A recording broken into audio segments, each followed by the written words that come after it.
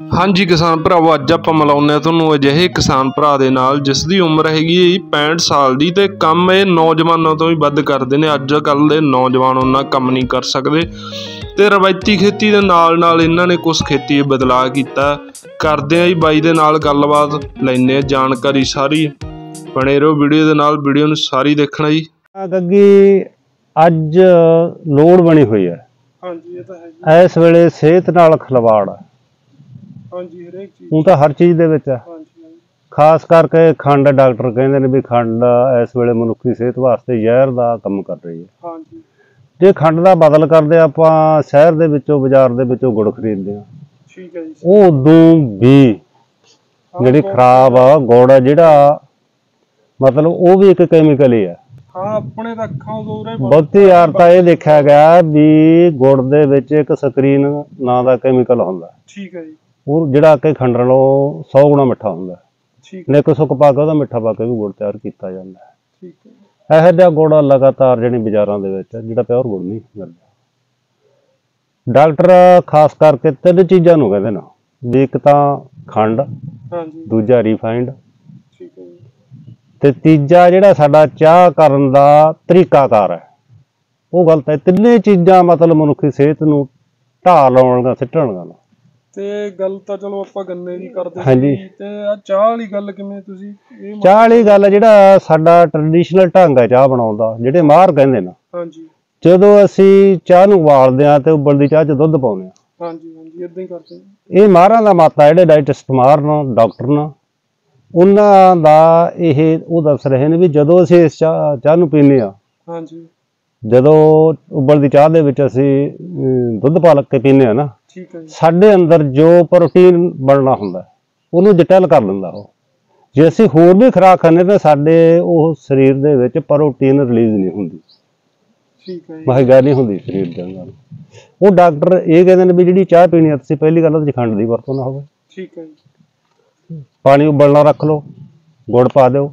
ਹਾਂਜੀ ਉਹਦੇ 'ਚ ਜਦੋਂ ਉਬਲ ਲੱਗ ਗਿਆ ਗੁੜ ਖੁਰ ਗਿਆ। ਠੀਕ ਹੈ ਜੀ। ਚਾਹ ਪਾ ਕੇ ਨਾਲ ਦੀ ਨਾਲ ਹੀ ਲਾ ਦਿਓ।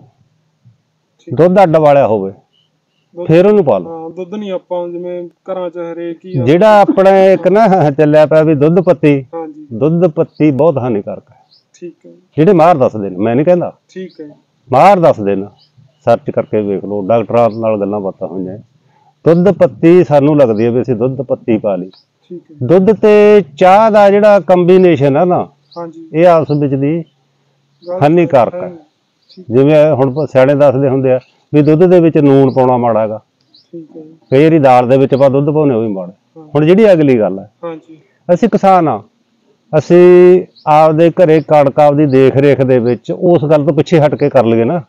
ਜਿੱਥੇ ਅਸੀਂ 50 ਮਣ ਕੱਢਦੇ ਆ 55 ਮਣ ਕੱਢਦੇ ਆ 35 ਮਣ ਹੋ ਜੇ 40 ਮਣ ਹੋ ਜੇ ਠੀਕ ਹੈ ਉਹ ਸਾਡਾ ਫਾਇਦਾ ਦੂਜੇ ਪਾਸੇ ਦੇ ਵੱਧ ਕਰੂ ਮਾਰਗਾ ਤੇ ਅੱਜ ਕੋ ਅੱਜ ਹਸਪਤਾਲਾਂ ਦੇ ਵਿੱਚ। ਇਹ ਨਹੀਂ ਪਤਾ ਵੀ ਕਿੰਨੇ ਕੁ ਚ ਖੜਾ ਛੁੱਟ ਕੇ ਆਉਣਾ ਹੈ। ਜਿਹੜੀ ਹੈਗੀ ਆਹ ਖੰਡ ਵਾਲੀ ਗੱਲ ਆ। ਅੱਜ ਸਾਡੇ ਲੋਕਾਂ ਨੂੰ ਇਹ ਬੜਿਆ ਪਿਆ ਵੀ ਅਸੀਂ ਸਾਲ ਦੇ ਵਿੱਚ ਤਿੰਨ ਫਸਲਾਂ ਲੈਂਦੇ ਆ ਗੰਨਾ ਇੱਕ ਵਾਰੀ ਹੁੰਦਾ ਮੈਂ ਕਹਿੰਦਾ ਵੀ ਆਪਦੇ ਖਾਣ ਜੋਕਰਾ ਤਾਂ ਕਰ ਲੈਣਾ ਕਿਸੇ ਆਪਦੇ ਯਾਰ ਦੋਸਤ ਜੋ ਕਰਾਂਢੀ ਗਵਾਂਢੀ ਜੋ ਕਰਾ ਜੇ ਕਰਦਾ। ਮੇਰਾ ਮਕਸਦ ਥੋੜਾ ਇਹਨੂੰ ਆਕਰਸ਼ਕ ਬਣਾਉਣ ਦਾ ਵੀ ਸੋਹਣਾ ਬਣਾ ਕੇ ਆਕਰਸ਼ਕ ਬਣਾ ਕੇ ਜਿਹੜਾ ਸਾਡੀ ਨੌਜਵਾਨ ਪੀੜ੍ਹੀ ਆ ਉਹਨਾਂ ਦਾ ਇੱਕ ਉਹ ਆਕਰਸ਼ਕ ਚੀਜ਼ ਬੰਨੀ ਹੁੰਦੇ ਨਾ ਖਿੱਚ ਖਿੱਚੇ ਜਾਂਦੇ ਨੇ। ਵੀ ਆ ਇੱਕ ਰੁਝਾਨ ਜਾ ਬਣੇ ਅਸੀਂ ਥੋੜਾ ਥੋੜਾ ਆਪਦਾ ਘਟ ਘਟ ਘਰ ਦਾ ਗੁੜ ਬਣਾ ਲਈਏ। ਕਿਸੇ ਯਾਰ ਦੋਸਤ ਆਂਢੀ ਗੁਆਂਢੀ ਜੋ ਕਰਾ ਕੋਈ ਆਪਣਾ ਸੱਜਣ ਮਿੱਤਰ ਹੈ ਉਹਦੇ ਜੋਕਰਾ ਬਣਾ ਲਈਏ ਇਹ ਰੁਝਾਨ ਹੈ ਜੀ ਸਾਡਾ। ਤੇ ਅੱਜ ਕਿ ਮੇਰੇ ਕੋਲੇ ਗੰਨੇ ਦੀਆਂ ਤਿੰਨ ਕੁ ਵੈਰਾਈਟੀਆਂ ਪਹਿਲਾਂ ਲੱਗੀਆਂ ਹੋਈਆਂ ਸੀ। ਠੀਕ ਹੈ ਅਗਲੀ ਵਾਰ ਨੂੰ ਮੈਂ ਦੋ ਵੈਰਾਈਟੀਆਂ ਹੋਰ ਯੂਨੀਵਰਸਿਟੀ ਦੇ ਵਿੱਚੋਂ ਲਿਆ ਰਿਹਾ। ਕੱਲ ਤੱਕ ਲਿਆਉਣਗਾ ਉਹ। ਹਾਂਜੀ ਜਿਹੜੀ ਗੰਨੇ ਦਾ ਵੀ ਆਪਣੇ ਕੋਲੇ ਵਧੀਆ ਸਾਫ਼ ਸੁਥਰਾ ਦੇਵਾਂਗੇ ਆਪਾਂ। ਗੰਨੇ ਦੀ ਜੋ ਲੋੜ ਹੈ ਕਾਸ਼ਤ ਕਰਨ ਦੀ ਜੋ ਇਹਦੇ ਢੰਗ ਨੇ ਉਹ ਵੀ ਆਪਾਂ ਜ- ਜਿੰਨੀ ਕੁ ਮੈਨੂੰ ਪਤਾ ਹੁੰਦੀ ਕਿ ਗਾਈਡੈਂਸ ਦੇਵਾਂਗੇ। ਹੁਣ ਇੱਧਰ ਆਪਣੇ ਗੰਨਾ ਵੀ ਵਾ ਗੰਨੇ ਦੇ ਵਿੱਚ ਚਲੋ। ਆ ਆਓ ਚਲੋ ਅਗਲੇ ਪਾਸੇ ਦਿਖਾਉਨੇ ਆ ਉਹਦੇ ਵਿੱਚ ਹੁਣ ਜਿਹੜਾ ਆਪਾਂ ਗੰਨਾ ਲਾਇਆ ਹਾਂਜੀ। ਗੰਨੇ ਦੇ ਵਿੱਚ ਆਪਾਂ ਮਿਰਚ ਲਾਈ ਹੋਈ ਆ। ਠੀਕ ਹੈ ਜੀ। ਇਹ ਆਪਾਂ 4-4 ਫੁੱਟ ਤੇ ਖਾਲੀ ਬਣਾਈ ਹੋਈ ਆ। ਇੱਕ ਖਾਲੀ ਤੇ ਗੰਨਾ ਲਾਤਾ ਠੀਕ ਹੈ ਦੋਨੇ ਸਾਈਡੀ ਇੱਕ ਖਾਲੀ ਤੇ ਮਿਰਚ ਲਾਤੀ। ਜਿਹੜੀ ਗੰਨੇ ਦੀ ਲਾਈਨ ਤੋਂ ਲਾਈਨ 8 ਫੁੱਟ ਤੇ ਜਾ ਵੜੂਗੀ। ਇਹ ਮਿਰਚ ਹੋ ਜੂਗੀ। ਮਿਰਚ ਹੋਣ ਤੋਂ ਬਾਅਦ ਠੀਕ ਹੈ ਜੀ। ਅਹ ਜਦੋਂ ਗੰਨੇ ਨੇ ਮੈਚੁਰ ਹੋਣਾ ਹਾਂਜੀ। ਨੜੀ ਉਦੋਂ ਐ ਨਹੀਂ ਪਤਾ ਲੱਗਣਾ ਵੀ ਇੱਥੇ ਕੋਈ ਇਹਦੇ ਚ ਗੈਪ ਹੈ। ਠੀਕ ਹੈ ਜੀ। ਗੰਨੇ ਨੇ ਪੂਰਾ ਕਵਰ ਕਰ ਲੈਣਾ ਉਸ ਤੋਂ ਬਾਅਦ ਵਾਹਣ ਨੂੰ। ਠੀਕ ਹੈ ਜੀ। ਆ ਜਾਓ ਜੀ। ਦੇਖ ਸਕਦੇ ਗੰਡੇ ਵੀ ਬਾਈ ਨੇ ਪੂਰੇ ਸ਼ੌਂਕ ਨਾਲ ਲਾਏ ਹੋਏ ਨੇ ਵੱਡਾਂ ਤੇ ਵੀ ਵੱਟਾਂ ਤੇ ਵੀ। ਦੇਖੋ ਆਹ ਲੈਣਾ ਜਿਹੜੀ ਇਹ ਮਿਰਚ ਲੱਗੀ ਹੋਈ ਹੈ। ਹਾਂਜੀ ਆਹ ਲੈਣਾ ਗੰਨਾ ਲੱਗਿਆ ਹੋਇਆ। ਇਹਨੇ ਹਜੇ ਜਰਮੀਨੇਟ ਹੋਣਾ ਹੈ। ਆ ਦੇਖੋ ਉੱਗਰ ਰਿਹਾ ਨਾ। ਇਹਦਾ ਸੰਨ ਵਾਲਾ ਗੈਪ ਬਾਅਦ ਚ 6 ਫੁੱਟ ਰਹਿਣਾ 6 ਫੁੱਟ ਗੰਨੇ ਨੇ ਕਵਰ ਕਰ ਲੈਣਾ। ਠੀਕ ਹੈ ਆ ਦੇਖਾ ਆ। ਜਰਮੀਨੇਟ ਹੋਈ ਜਾਂਦਾ ਗੰਨਾ। ਹਾਂ ਆਹ ਬਹੁਤ ਵਧੀਆ। ਹੂੰ ਹੂੰ। ਇਹ ਜਣੀ ਇਹ ਕਿ ਇੱਕ ਕੱਲੀ ਅੱਖ ਲਾਉਣਾ ਮੈਂ ਕੱਲੀ ਅੱਖ ਤੋਂ ਜਣੀ 15 15 ਗੰਨੇ ਜਿਹੜੇ ਹੈਗੇ ਇਸ ਤੋਂ ਅੱਗੇ ਟੇਲਰਿੰਗ ਜਿਹੜੀ ਹੋਣੀ ਹੈ ਹਾਂਜੀ ਆ ਦੇਖੋ। ਇਹ ਕਿੱਲੇ ਦੇ ਵਿੱਚ ਆ ਦੇਖੋ ਦੋ ਕਰਾਣਾ ਹਰਾ ਆ ਗਿਆ। ਇਧਰਲੇ ਪਾਸੇ ਆਪਣਾ ਚਾਰ ਹਰਾ ਚਾਰਾ ਆ ਗਿਆ। ਇਹ ਵੱਢਣ ਤੋਂ ਬਾਅਦ ਇਹਦੀ ਆਪਾਂ ਹੁਣ ਪਨੀਰੀ ਲਾ ਕੇ ਰੱਖਾਂਗੇ। ਠੀਕ ਹੈ ਜੀ। ਗੰਨੇ ਦੀ। ਜਦੋਂ ਇਹ ਹਰਾ ਵੱਢ ਕੇ ਆਪਾਂ ਵਾਹਣ ਤਿਆਰ ਹੋ ਗਿਆ ਉਹ ਚੱਕ ਕੇ ਪਨੀਰੀ ਬੂਟੇ ਜਿਹੜੇ ਤਿਆਰ ਹੋਏ ਉਹ ਇਹਦੇ ਚ ਲਾ ਕੇ ਕੱਲਾ ਪੂਰਾ ਕਵਰ ਕਰ ਦਿਆਂਗੇ। ਠੀਕ ਹੈ। ਇਸ ਤਰ੍ਹਾਂ ਉਹ ਪਨੀਰੀ ਦਿਖਾ ਦਿੰਦਾ ਤੁਹਾਨੂੰ। ਪਨੀਰੀ ਜਿਵੇਂ ਚੱਲ ਰਹੀ ਹੈ ਉਹ ਹਜੇ ਉਹਦੇ ਵਾਲੀ ਪਨੀਰੀ ਹਜੇ ਲਿਆਉਣੀ ਹੈ ਕਿਉਂਕਿ ਪਨੀਰੀ ਆਪਾਂ 35 40 ਦਿਨ ਪਹਿਲਾਂ ਲਾ ਸਕਦੇ ਹੁੰਦੇ ਹਾਂ ਠੀਕ ਹੈ ਜੀ। ਉਹ ਜਿੰਨੀ ਕੁ ਪਨੀਰੀ ਮੈਂ ਲਾ ਕੇ ਰੱਖੀ ਹੋਈ ਹੈ ਇਸ ਵਾਸਤੇ ਹੈ ਵੀ ਆਹ ਜਿਹੜਾ ਆਪਣਾ ਬੀਜਿਆ ਹੋਇਆ ਕਈ ਵਾਰੀ ਕੋਈ ਅੱਖ ਉਹਦੇ ਚ ਨਾ ਉੱਗੇ ਹਾਂ ਉਹ ਬਟ ਤਾਂ ਉਹਦਾ ਥਾਂ ਆਪਾਂ ਕਵਰ ਕਰ ਸਕਦੇ ਆ ਲਾ ਕੇ ਪਨੀਰ ਉਹ। ਆਜੋ ਤੁਹਾਨੂੰ ਪਨੀਰੀ ਹੈ ਜਿਹੜੀ ਦਿਖਾਉਨੇ ਆ ਉਧਰ। ਆਜੋ ਜੀ। ਆ ਮਿਰਚ ਦੀ ਪਨੀਰੀ ਆਪਾਂ ਆਪਣੇ ਆਪ ਤਿਆਰ ਕਰੀ ਹੋਈ ਸੀਗੀ। ਠੀਕ ਹਾਂ, ਲਕਸ਼ਮੀ ਦੀ ਇਹ ਹੈਗੀ ਇਹ CHC 4401 ਠੀਕ ਹੈ। ਜਿਹੜੀ ਆਪਾਂ ਲਾਈ ਹੈਗੀ ਇਹੀ ਪਨੀਰੀ ਆਪਾਂ ਤਿਆਰ ਕਰੀ ਸੀ। ਆ ਜੋ ਆ ਜਿਹੜੀ ਗੰਨੇ ਦੀ ਪੌਦ ਜਿਵੇਂ ਆ, ਉਹਦੇ ਵਿੱਚ ਖਾਤਰ ਜਿਵੇਂ ਆਪਾਂ ਲਾ ਰਹੇ ਹਾਂ। ਆ ਦੇਖੋ ਗੰਨੇ ਦੀ ਪੌਦ ਲੱਗੀ ਹੋਈ ਹੈ। ਇੱਥੇ ਆਪਾਂ ਕਿਆਰੀ ਤਿਆਰ ਕਰਕੇ ਨਾ ਇਹਦੇ ਥੱਲੇ ਆਪਾਂ ਗੱਟਾ ਵਿਛਾਇਆ ਹੋਇਆ। ਠੀਕ ਹੈ। ਗੱਟਾ ਗਹਿਰਾ ਕਰਕੇ ਐ ਮਤਲਬ ਕੰਨੀਆਂ ਚੜੀਆਂ ਹੋਈਆਂ ਗੱਟੇ ਦੀਆਂ। ਠੀਕ ਹੈ ਜੀ, ਇਹਦੇ ਚ ਤਿੰਨ ਚਾਰ ਗੱਟੇ ਪੈ ਗਏ ਉੱਥੋਂ ਤੱਕ ਗੱਟੇ ਤੇ ਗੱਟੇ ਦੀ ਕੰਨੀ ਚੜਾ ਕੇ। ਹਾਂਜੀ। ਉਹ ਗੱਟੇ ਦੇ ਉੱਤੇ ਫਿਰ ਆਪਾਂ ਮਿੱਟੀ ਪਾ ਲੈਂਦੇ ਹਾਂ ਇੰਚੀ ਸਵਾ ਇੰਚੀ। ਠੀਕ ਹੈ ਜਿਹਦੇ ਚ ਹਲਕੀ ਰੇਹ ਰਲਾਈ ਹੁੰਦੀ ਹੈ ਹਾਂਜੀ। ਤੂੜੀ ਦੀ।